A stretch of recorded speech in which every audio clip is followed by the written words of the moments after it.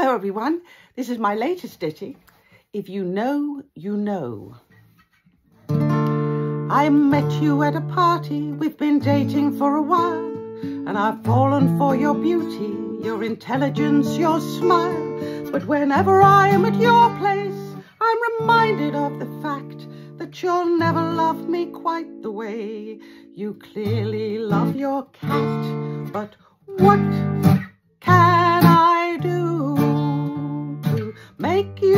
love me too? There's nothing I can do because I'm not a Russian blue.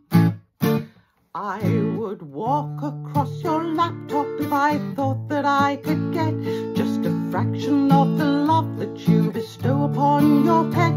Would you care for me a little more? Your lack of interest shift if I brought a dead bird to your door and said it was a gift.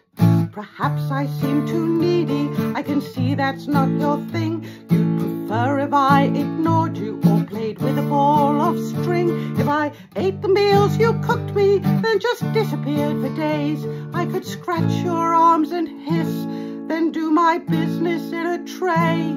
But what can I do? You'd prefer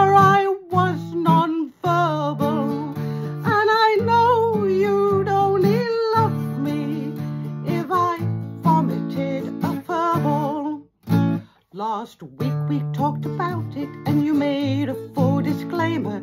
Said if you had to choose between your cat and me, it's a no-brainer. So I left you that same evening and went driving in my car. Then to drown out all my sorrows, I found a lesbian bar. I made a promise to myself that I won't be second best to anyone again who puts me way behind their pets. Then a woman sat beside me that lucky. But she showed me 40 photos on her phone of her new puppy.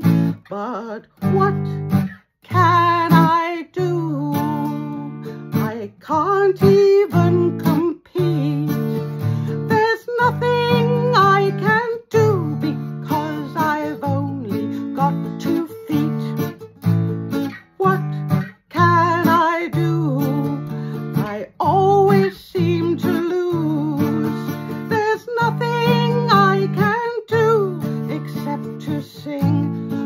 Russian blues.